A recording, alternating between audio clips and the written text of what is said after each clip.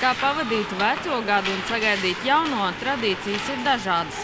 Talsu hokeja klubām ir sava tradīcija. Gada nogalē viņi tradicionāli uz ledus tiekas ar LTV 7 sporta studijas komandu. Šobrīd spēle tuvojas noslēgumam, rīdzinieki zaudē, bet neko vēl nevar zināt, jo rezultāts burtiski mainās pa minūtēm. Talsinieku un rīdzinieku satikšanās hokeja laukumā ir svētki, ko spēlētāji no sirds izbaudot. Pirms spēles tradīcijas aizsācēji Talsu hokeja tēvs Imants Ziediņš un sporta studijas vadītājs Dāvids Enštreits mēģināja atcerēties, cik sena ir tās vēsture. Par konkrētu skaitli vienoties neizdevās, bet aptuveni 5 vai 7 gadi tradīcijai gan varētu būt. Un šī spēle ir īpaša, jo nu pat Imants Ziediņš saņēmis balvu par mūža ieguldījumu Latvijas sportā. Mēs to tiešām no sirdsībām novērtējam. Lai... Man jau liekas, ka tev bija pāri iedot to mūža ieguldījumu, jo vēl kāds desmit gadus viņam kārtīgi jāstrādā, neveči. Spēle sākās salīdzinoši mierīgi, bet mazliet sāpīgi talsiniekiem, jo pirmo periodu mājinieki noslēdz ar zaudējumu. Taču otrais periods bija pilnīgi pretējs. Sīvākās cīņas sākās pie sporta studijas vārtiem un talsinieki raidīja trāpīgus metienus vienaiz otra. Periods beidzās ar rezultātu 10 pret 4. Jums bija ļoti, ļoti cerīgs sākums. Kas notika otrajā periodā? Es domāju, ka nevis mums kaut kas notika, bet talsinieki tur varēja redzēt. Pirmajā viņi tā taustījās vēl. Otrajā varēja redzēt, ka viņi dopingu nebija lietojuši. Jā, varbūt. Nu, varēja redzēt uzreiz piespēlītas citas saspēle no viņas puses, un mēs nedaudz tā kā apjukām, un tur arī rezultāts. Izskatījās īstenībā, ka jūs aizmirzāt, ka tā vispār ir draudzības spēle.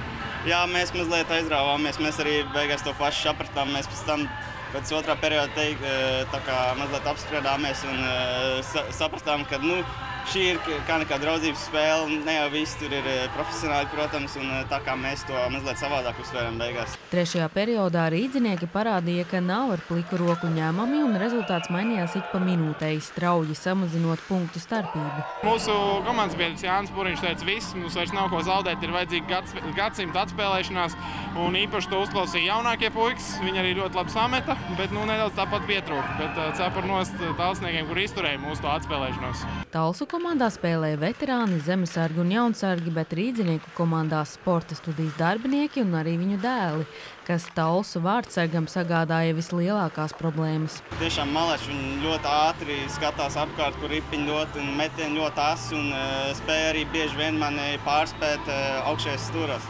Vienkārši ir prieks skatīties, ka jauniešos ir tāda deksme, ka viņi Viņi iet uz pilnu tādu foršu un kustīgu puikas, kas nesēž šodien pie kompjūteriem, bet brauc ar vecākiem kopā spēlēt uh, hokeju. Tas ir burvīgi.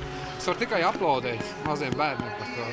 Aplaudēt var arī Talsu komandas vārdsargam, kam šī bija debija spēle. Viņš pats ir priecīgs, ka tā izdevusies, bet atzīst, ka pirms spēles ir bijis satraukums. Var redzēt, ka puisim patīk tā lieta. Ja? Godam to savu debiju izturēja. Jā, viņš izturēja, un viņam šī ir pirmā spēle mūžā. Vispār piekto vai sesto reizi vispār vārds ar formu uzvilkt mugurā. Malacis. Šis tā kā, kā nekā tās labs atspēriens, tā kā es mazliet tā kā izbarīju to pirmo garšu, kā nekā kā vārdsargs. Spēle noslēdzās ar rezultātu 10 pret 14 talsinieku labā. Sāpīgs zaudējums. Šeit zaudēt nekad nav sāpīgi. Šeit vienmēr ir uh, hokeja svētki, un kā jau es gada balvā uz skatos teicu, ir uh, nu, jau par tradīciju kļuvuši Ziemassvētki, pēc tam tāls hokeja svētki un tad jaunā gada svētki. Kā var sasmelties prieku un enerģiju jauniem gadam? Viennozīmīgi. Viennozīmīgi.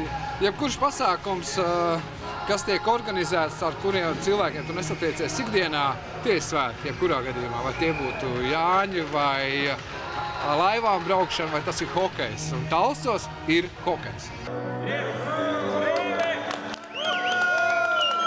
Sanita Liepiņa, Girds Krenovits, Talsu televīzija.